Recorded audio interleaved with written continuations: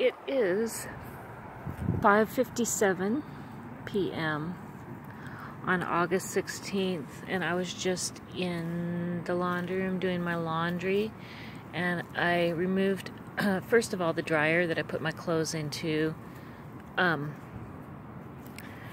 was not drying it didn't get hot so I had to um, wait till the other dryer was free and put them in the other dryer and when I pulled them out of the dryer they had this thing in them think this is something that you use in heart.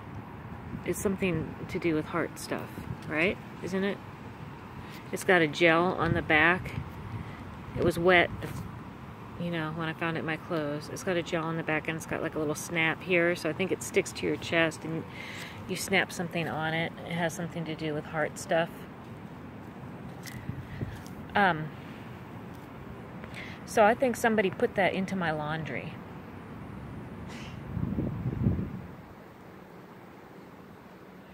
So that is um, what I would consider to be a threat to my heart or to Chris's heart.